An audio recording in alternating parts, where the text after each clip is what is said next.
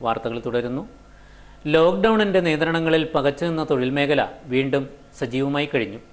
Corona ഭയത്തിൽ നിശ്ചലമായിരുന്ന ദേശീയ ഗ്രാമീണ തൊഴിലുറപ്പ് പദ്ധതിയിൽ കാർഷിക മേഖലയിലാണ് കൂടുതൽ തൊഴിലവസരങ്ങൾ തൊഴിലാളികൾ പ്രതീക്ഷിക്കുന്നത്.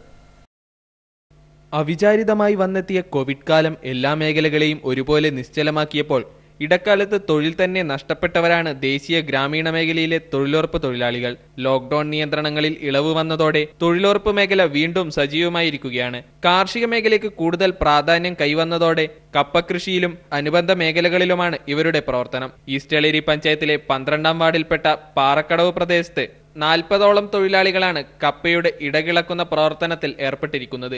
ഇപ്പോൾ കൂലി ലഭിക്കുന്ന കാര്യത്തിൽ പ്രയാസമില്ലെന്നും എന്നാൽ ഇരുന്നൂറ്റി തൊണ്ണൂറ്റിയാറ് രൂപ എന്നത് മുന്നൂറ് രൂപയെ നിജപ്പെടുത്തണമെന്നുമാണ് ഇവരുടെ ആവശ്യം. ഗ്രാമപഞ്ചായത്തിലെ പാറക്കടവ് അയൽസഭയിലെ തൊഴിലുറപ്പ് തൊഴിലാളികളാണ് ഞങ്ങളെല്ലാവരും.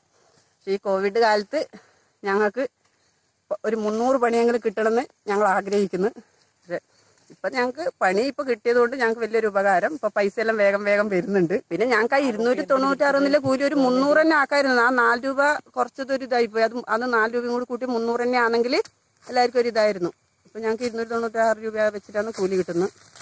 കോവിഡ് രോഗവ്യാപന ഭീതി പടർത്തിയതോടെ വിദ്യാർത്ഥികളുടെ പഠനത്തിന് സ്മാർട്ട് ഫോണും മറ്റും വാങ്ങേണ്ടി വരുന്നത് ചിലവ് കൂടുകയാണെന്നും ഇപ്പോൾ കാർഷിക മേഖലയിൽ മാത്രമായി പരിമിതപ്പെടുത്തിയിരിക്കുന്ന നിലയിൽ നിന്നും തൊഴിലുറപ്പ് പദ്ധതി പഴയ രീതിയിലെ റോഡ് പ്രവൃത്തിയിലേക്ക് കൂടി അനുമതി നൽകണമെന്നുമാണ് ഇവരുടെ ആവശ്യം.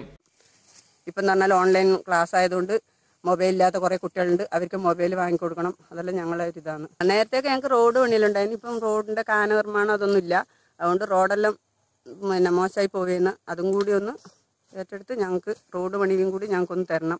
പക്ഷേ കാനയെല്ലാം വൃത്തിയാക്കിയാൽ മാത്രമേ റോഡ് നന്നായി ഇതാവൂലൂ. ഇപ്പോൾ റോഡെല്ലാം നന്നാക്കിയിരിക്കുന്നു. പക്ഷേ കാനില്ലാത്തതുകൊണ്ട് കാനയില്ലാത്തതുകൊണ്ട് വെള്ളമെല്ലാം റോഡിൽ പോയിന്ന് അതെല്ലാം കാന നിർമ്മാണമെല്ലാം ഞങ്ങൾ തൊഴിലുറപ്പിൽ ഉൾപ്പെടുത്തണമെന്ന് പറയുന്നു. കോവിഡിന്റെ പശ്ചാത്തലത്തിൽ ഏക്കർ കണക്കിന് സ്ഥലത്താണ് ഇത്തവണ കപ്പ കൃഷി ഇറക്കിയിരിക്കുന്നത്. അന്താരാഷ്ട്ര നിലവാരമുള്ള ഹാൻഡ്ബോൾ ഇൻഡോർ സ്റ്റേഡിയ പരിശീലനം S P C J R C N S S പരിശീലനവും.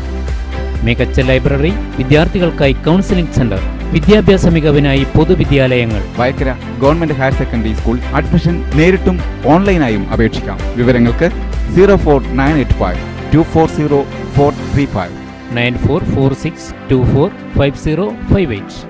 Nine four double zero six nine zero nine seven zero.